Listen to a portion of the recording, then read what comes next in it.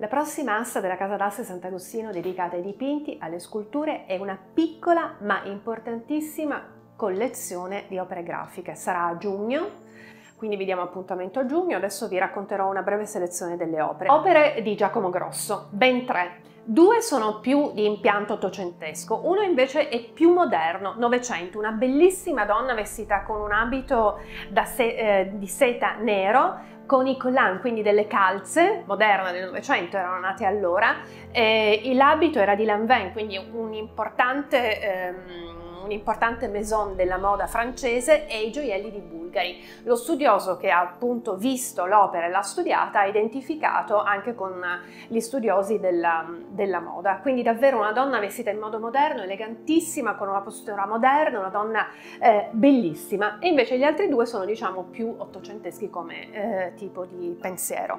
Quindi Giacomo Grosso bellissimi. Ancora due bellissimi roda di montagna che rappresentano il Cervino, quindi le nostre montagne, che piacciono sempre molto, uno molto grande, uno leggermente più piccolo, quindi due roda di montagna, e, ehm, e ancora una selezione di opere di Pizio. Quindi questi diciamo sono i quadri, le opere d'arte eh, più eh, ottocentesche primi del Novecento. Poi proseguiamo invece con, arriviamo nel Novecento, entriamo proprio nel Novecento pieno con un bellissimo ritratto verile di Marino Marini eh, pittore che poi ha seguito molte evoluzioni, ma in questo caso da noi è presente con un bellissimo ritratto di del 1929.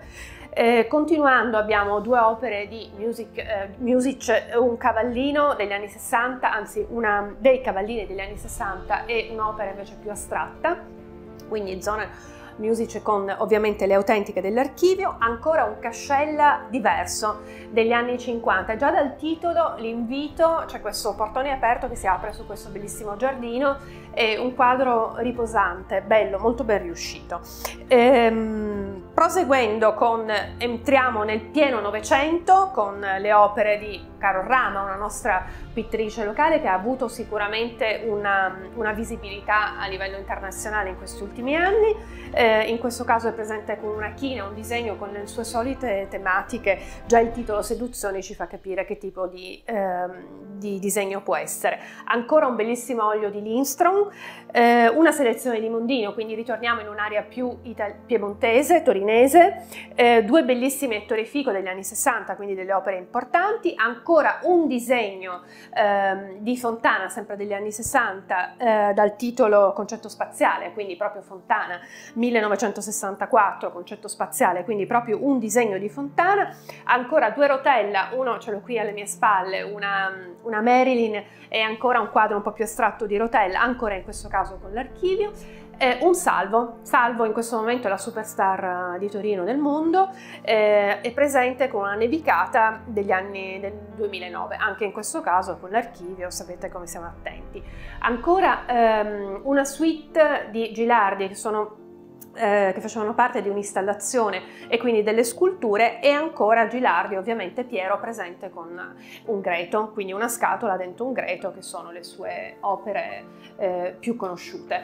Eh, non posso non dimenticare un Vedova del 1942-43, il momento in cui Vedova eh, inizia a ragionare sui lavori, infatti il titolo è l'operaio ma è un soffiatore di vetro, quindi proprio il suo mondo, eh, la sua Venezia eh, che viene qui rappresentata con un soffiatore di vetro mentre lavora.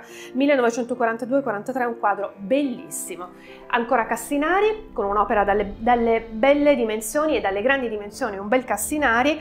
E, ehm, mh, chiuderei con un brindisi che vedo davanti a me, un'opera grande del 1964-65 che vi invito a vedere di persona perché è un'opera di una potenza straordinaria.